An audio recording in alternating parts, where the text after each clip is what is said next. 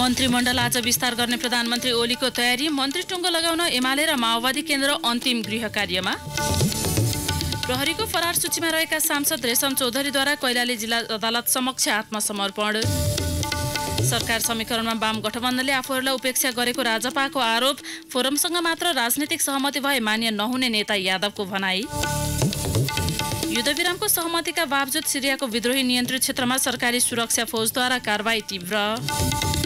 र चितवनमा जारी विकास रनिङ सिल्ड अन्तर्राष्ट्रिय आमन्त्रण गोल्ड कप फुटबलको तेस्रो क्वार्टर फाइनलमा आज विभागीय आर्मी र फ्रेन्च क्लब भिड्दै। नमस्कार कान्तिपुर डायरीका साथमा साथी बासु र म प्रतीक्षा सुरु गरौँ मुख्य प्रसङ्गबाट। प्रधानमन्त्री केपी शर्मा ओलीले आज मन्त्रीमण्डल विस्तार गर्ने तयारी गर्नुभएको छ। सत्ता सहयात्री माओवादी केन्द्र र आफ्नो दलबाट समेत गरी प्रधानमन्त्री ओलीले मन्त्रीमण्डल विस्तारको तयारी गर्नुभएको हो। बालोटारको आग्रह अनुसार राष्ट्रपति कार्यालयले अपरान्न चार बजे शपथको तयारी गरेको राष्ट्रपतिका स्वकीय सचिव भेषराज अधिकारीले जानकारी दिनुभयो। केन्द्रमा अठार मन्त्रालय राख्ने सहमति गरेका दुई दलबीच एमालेलाई दस र माओवादी केन्द्रलाई सातवटा मन्त्रालय दिने तय भइसकेको छ।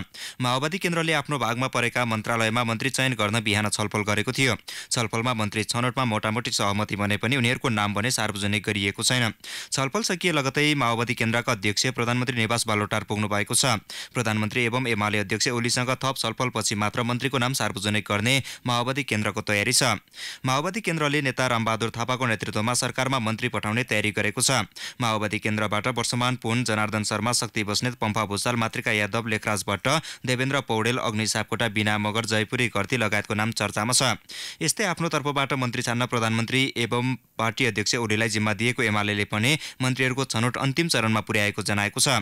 मन्त्री बन्नेको नाममाथि अहिले दुवै अध्यक्ष अन्तिम छलफलमा जुटेको बालुवाटार निकट स्रोतले जनाएको छ।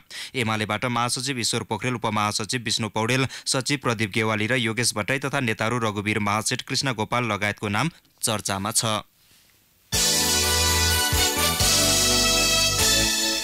कैलाली क्षेत्र नम्बर एकबाट प्रतिनिधि सभा सदस्यमा निर्वाचित रेशम चौधरीले धनगढी जिल्ला अदालतमा आत्मसमर्पण गर्नुभएको छ। साढे दुई वर्षदेखि प्रहरीको फरार सूचीमा रहेका चौधरी बिहान सभा दस बजे जिल्ला अदालतमा आफै उपस्थित हुनुभएको सात नम्बर प्रदेशका प्र, प्रहरी प्रमुख एआइजी माधव प्रसाद नेपालले जानकारी दिनुभयो।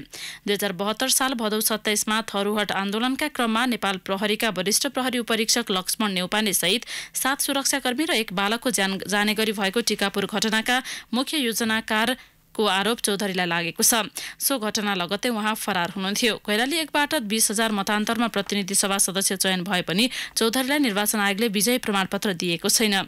चौधरीले प्रमाणपत्र पाउन सर्वोच्च अदालतमा रिट दायरको प्रयास समेत गर्नुभएको थियो।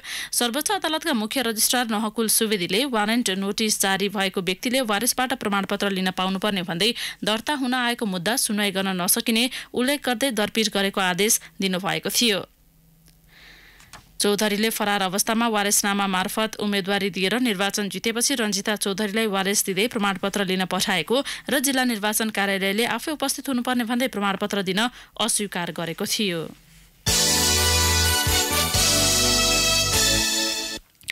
वाम गठबन्धनले सत्ता समीकरणमा संघीय समाजवादी फोरमलाई मात्रै च्यापेर आफूहरूलाई उपेक्षा गरेको राजपाले आरोप लगाएको छ। फोरमलाई सरकारमा ल्याउन गठबन्धनले आग्रह गरे पनि आफ्नो पार्टीलाई अहिलेसम्म प्रस्ताव नै नगरेको राजपा अध्यक्ष मण्डलका नेता राजकिशोर यादवले जानकारी दिनुभयो।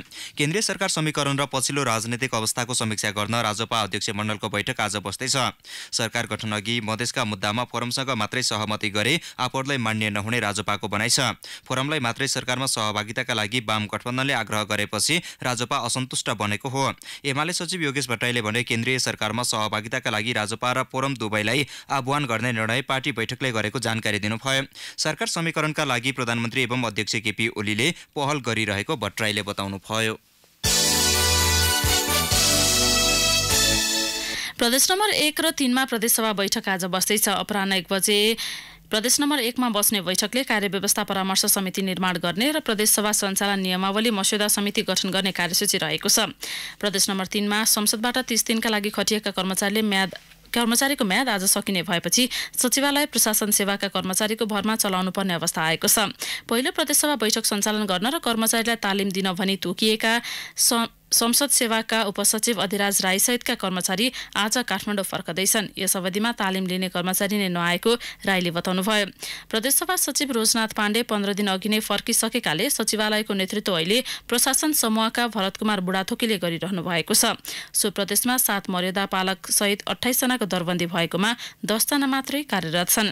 यसैबीच प्रदेश नम्बर पाँचमा मन्त्रालय व्यवस्थापनसँगै विशिष्ट व्यक्तिहरूको निवास व्यवस्थापनको टुङ्गो आजै लागेको छ।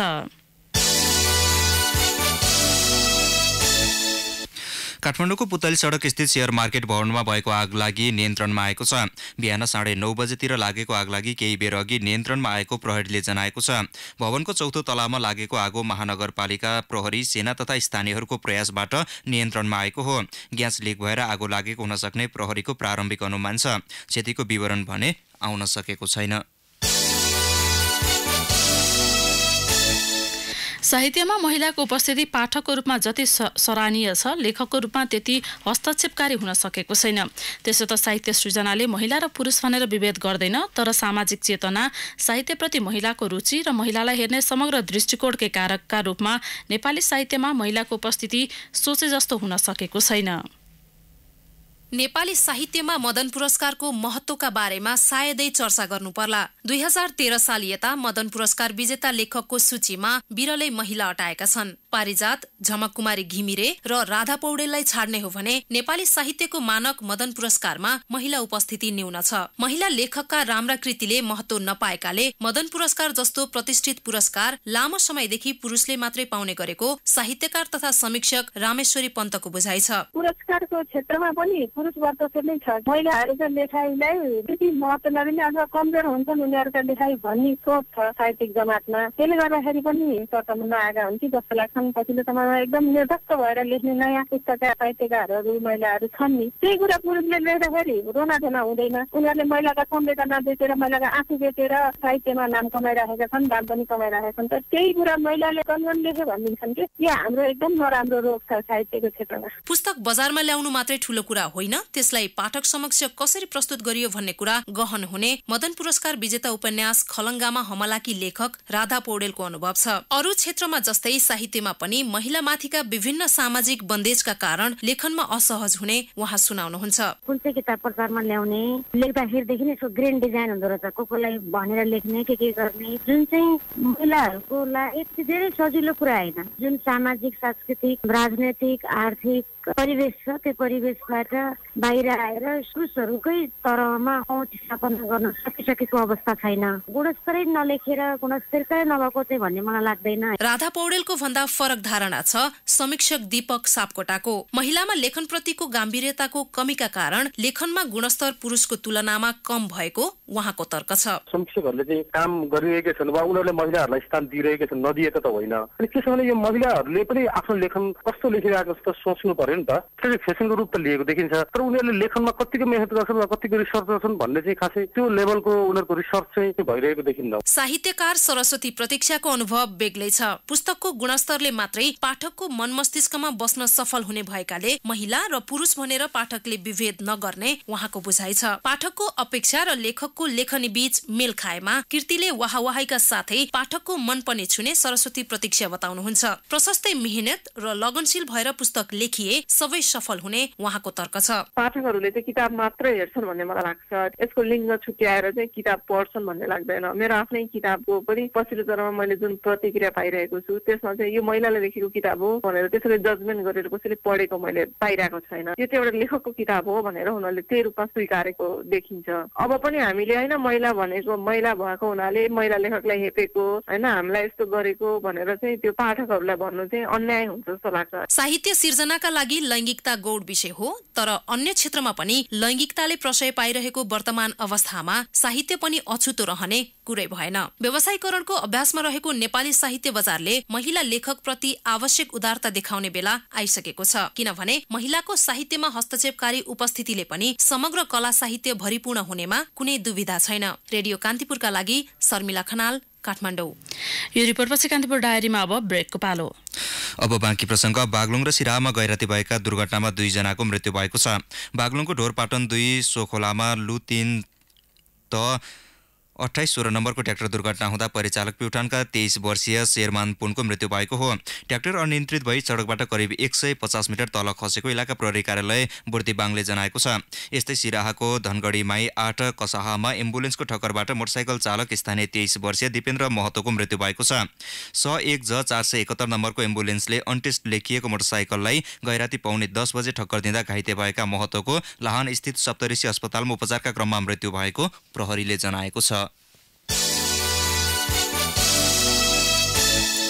अब एउटा अन्तर्राष्ट्रिय प्रसङ्ग सिरियामा युद्ध विराम गर्ने सहमतिका बावजुद सरकारी सुरक्षा फौजले विद्रोही नियन्त्रित क्षेत्रमा कारवाही तीव्र पारेको छ। संयुक्त राष्ट्रसङ्घीय सुरक्षा परिषदबाट युद्ध विराम सम्बन्धी प्रावधान पारित भए पनि सरकारी सुरक्षा फौजले आक्रमण जारी राखेको हो।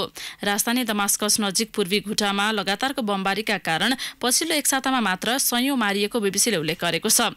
संयुक्त राष्ट्रसङ्घले तीस दिनको युद्ध विरामका लागि आग्रह गरेको केही घण्टा नबित्दै घुटामा हवाईका साथै थल आक्रमण समेत शुरू भएको बीबीसीले उल्लेख गरेको छ।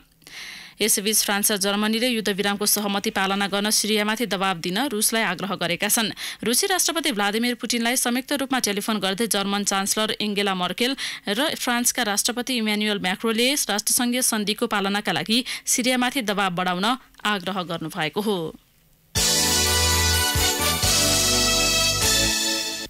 अब खेल प्रसङ्ग चितवनमा जारी विकास रनिङ सिल्ड अन्तर्राष्ट्रिय आमन्त्रण फुटबलको तेस्रो क्वार्टर फाइनलमा आज विभागीय त्रिभुवन आर्मी र फ्रेन्ड्स क्लबबीच प्रतिस्पर्धा हुँदैछ। नारायणगढको क्याम्पा चौर मैदानमा दिउँसो तीन बजेपछि दुई टोली बीचको प्रतिस्पर्धा सुरु हुनेछ। यसअघि हिजो भएको खेलमा अर्को विभागीय टोली नेपाल पुलिसलाई दुई एक गोल अन्तरले हराउँदै लक्ष्मी हुण्डाई मनाङ मर्स्याङदी क्लब प्रतियोगिताको सेमी फाइनलमा प्रवेश गरेको थियो। बाह्र टोली सहभागी प्रतियोगिताको उपाधि विजेताले पाँच लाख रुपियाँ हात पार्नेछ।